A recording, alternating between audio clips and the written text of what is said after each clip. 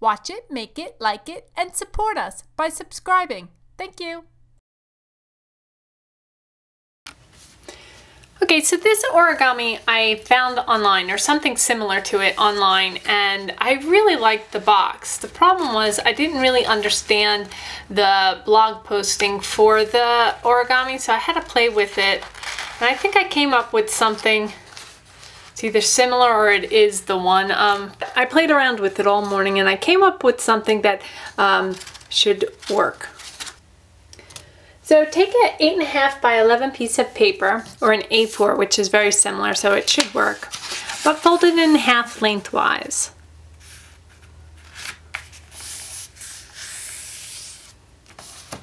Open up and fold the two edges to the middle.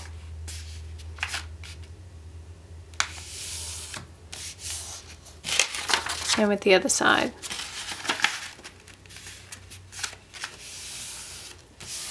Okay, open it up and you're going to fold this edge to that first one you just made.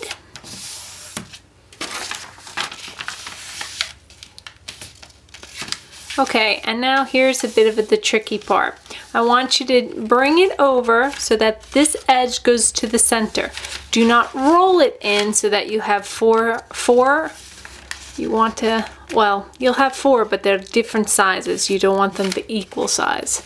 So if you see, this has a small um, side to it. And see, this has a flat. It's not equally bent or folded. Same here.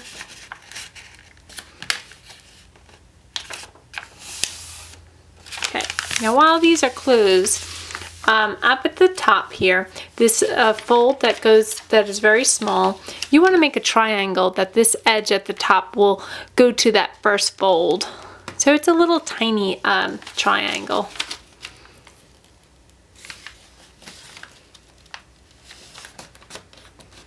Okay, now open it up and you will see that there are different shapes rectangle strips. At the top, you'll see that you'll have these two triangle shaped um, folds. Um, use that as a guide to bring, to fold this piece in and follow it down. And this should be parallel to the bottom. Same with the other side.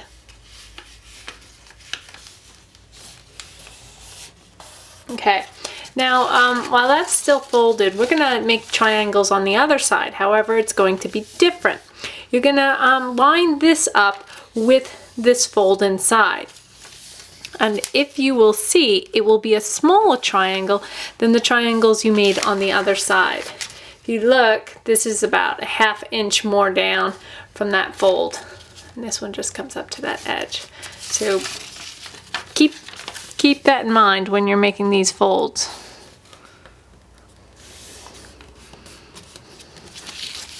Okay, now fold down the edge.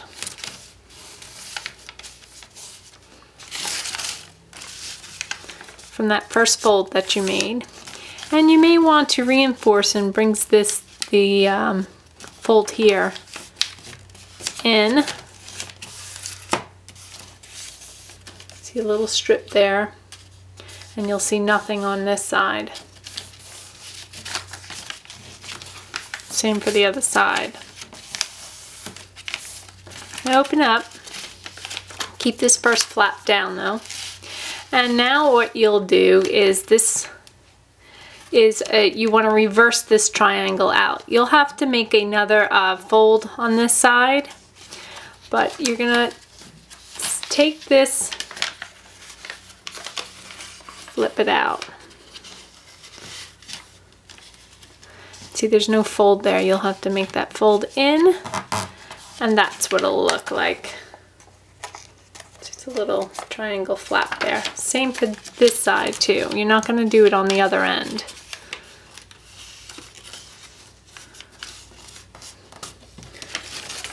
Okay. So you may see that this is going to be the wall.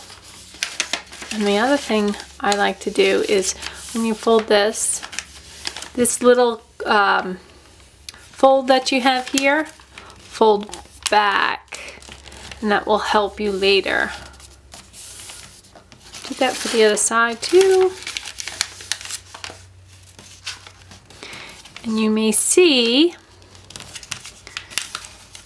that this is the walls and this is going to, going to be supporting the walls. So now what you want to do is determine the walls on the other side. So um, open this up. Still have the little flaps here. And you want to make a crease right where these two triangles crossing.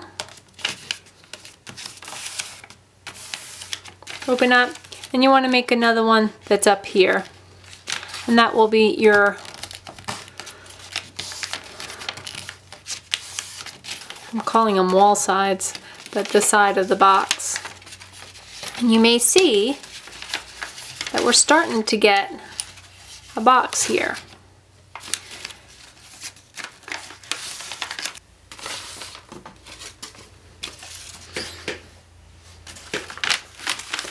Alright, this is where it gets a little tricky because we want to do the other side now and get a kind of flaps like these on the other side.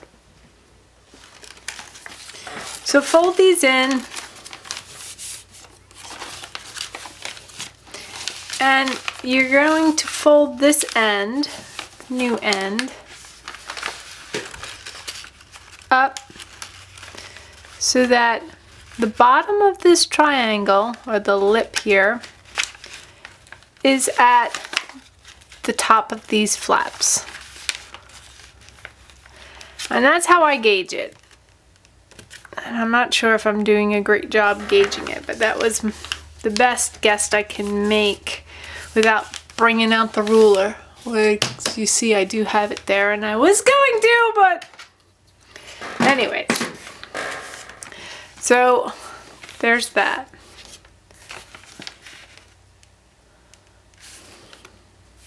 It's too small. have to go down. Anyway, so bring these in.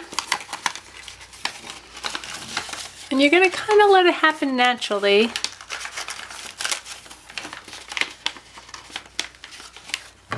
The next issue is you're going to have to make your own fold here.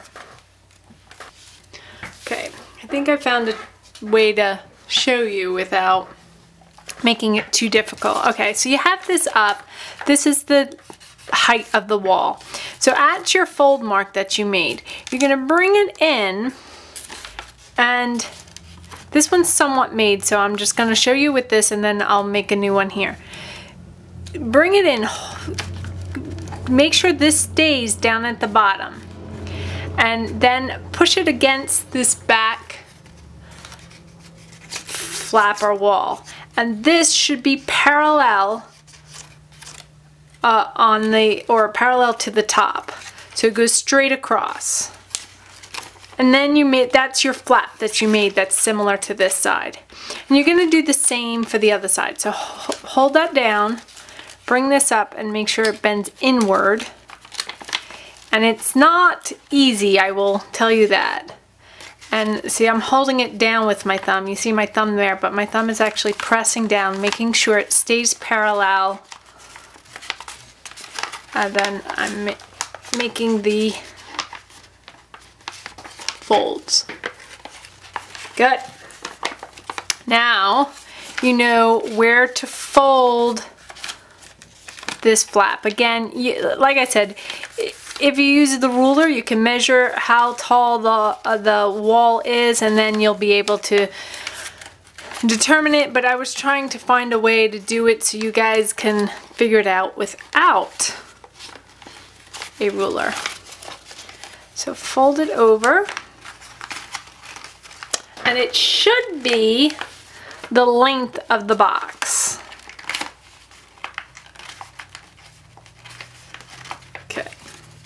And then you can take this end and tuck it into these flaps to close your box up. Come on. There we go. Oops, it went in and came out. Probably because my folds aren't tight. So I'm gonna push it in and tighten my folds. Now this one went over a little bit, but frankly, I actually like tucking it in because it gives it a cleaner edge. And there, oh, this one came back out better than my first one, but the first one I put pencil lines and I tried different folds and so it makes sense. And there's your pretty box. And uh, uh, when you uh, start out, if you use pretty paper on one side, the pretty paper should be on the, the back. Like when you lay it down, this side's the pretty side, this side's the, the inside. And put whatever you wanted. Okay, that was a challenge. I hope you enjoy. I wonder if I fold in the corners here, it will go in more smoothly. Or will it stay?